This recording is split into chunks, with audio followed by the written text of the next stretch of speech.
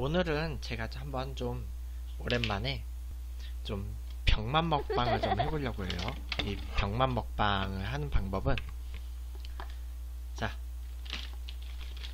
쿠르르 바게뜨님 어서 오세요. 오늘 병만 먹방은 자 봉지 라면을 진짜 컵에다가 넣어가지고 컵라면처럼 만들어서 먹어볼 거예요. 이 정도 크기로 자, 들어가긴 들어가는데 잘 안 들어가거든요. 그래서 어 바게트님 왜요?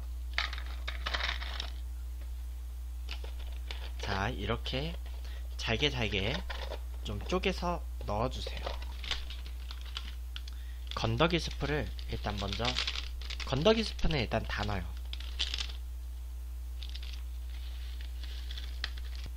여기다가 좀 넣을게요.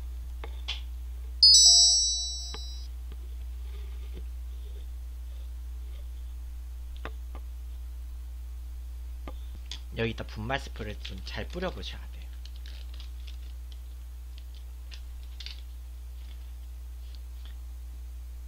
좀 병맛 같은 먹방이긴 한데.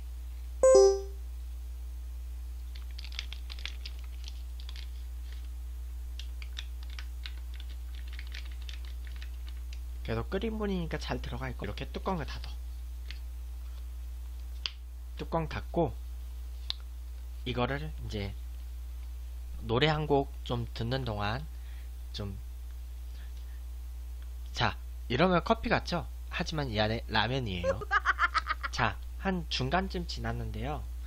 자 한번 이거를 잠깐 열어가지고요. 그 면을 한번 좀 풀어주세요 잘. 좀 잘 풀어야 될 거야. 이렇게 그 넘치지 않게 잘 한번 면을 섞어주세요 더 기다려야 되는데 더 기다리긴 귀찮아가지고 제가 식사를 못해서 이거를 이제 뜯도록 하겠어요. 음 비가 하루 종일 올지 안 올지는 나도 모르, 겠어요 오늘 나가봐야지 알아. 오 뭔가 좀 익어 보이는 뭔가 모양은 그럴싸하죠. 익었는지 모르겠는데 밑에 면부터 먹어야 되겠다. 다시 한번 좀 섞어가지고 위에 거 밑에 거를 좀 잘 섞어서 먹어야 될 것 같아요. 이렇게 이렇게 해서 먹는 거야. 커피컵에다가 음 윗부분 좀 설리긴 했는데 아마 밑에는 좀 익었겠죠. 한번 국물을 음. 제가 스프를 다 넣어서 조금 짜긴 하다.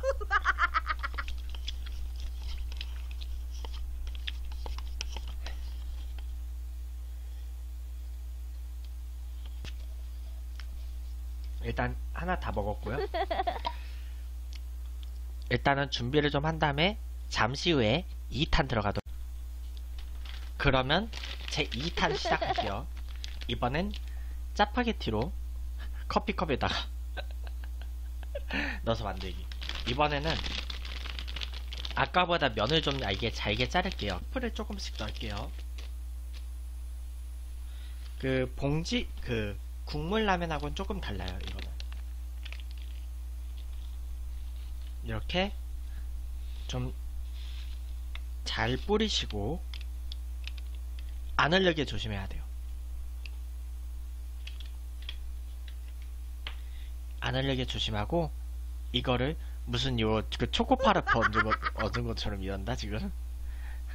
그리고 이거를 잘 집어 넣어주세요. 이렇게 꾹꾹 잘 쑤셔 넣어주시면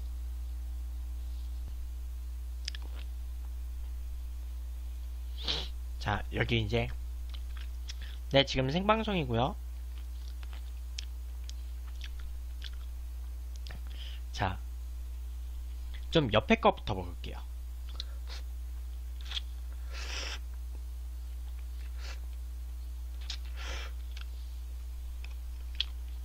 좀 먹다 보면 잘 섞일 것 같아.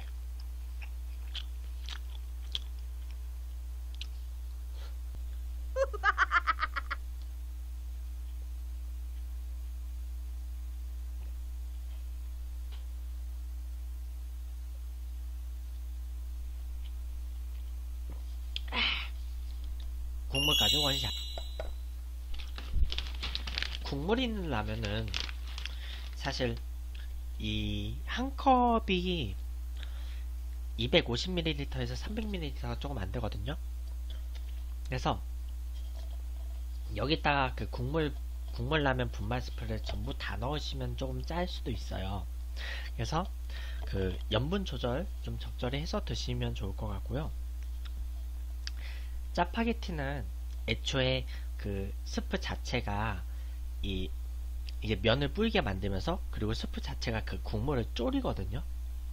그래서 이거는 개인적인 생각이지만 요 컵에 이 커피 사이즈 컵 한 컵에다가 봉지라면 국물 봉지라면 한 개를 끓일 때는 그 분말 스프를 조금 조절을 하셔야 되고 짜파게티는 그냥 다 넣으셔도 돼요. 짜파게티는 어차피 그 소스로 국물을 졸이면 되기 때문에 그 어차피 그 원래 짜파게티는 정식 레시피는 그 면 면을 면하고 건더기 스프 삶은 다음에 원래 국물 뭐 두세 스푼 남기고 그 따라 버린다 뭐 그런 게 있잖아요. 근데 컵라면 끓일 때 그 뭐냐 짜파게티 큰 사발하고 짜파게티 범벅은 물을 버리지 않아요. 그렇기 때문에 여기도 그냥 아예 면을 잘게 부셔서 넣고 스프도 넣으세요.